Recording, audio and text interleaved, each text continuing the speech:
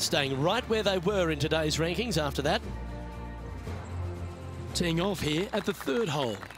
Look, coming off a birdie at the last hole, this player finally is making something happen.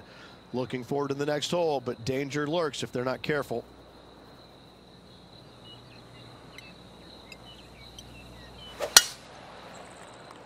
Well, this one looks like it's heading to the sand.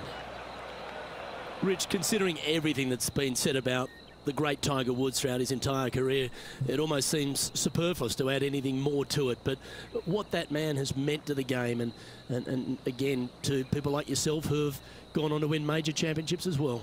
Yeah, I would think what Tiger has brought to the game is just a. He, he changed the perception of the game as it being kind of an old man sport, and all of a sudden, he's out there winning and fist pumping. Oh, what a shot from the bunker. Well, that's worth reviewing. Let's roll the videotape. Now this, this is how you play a bunker shot.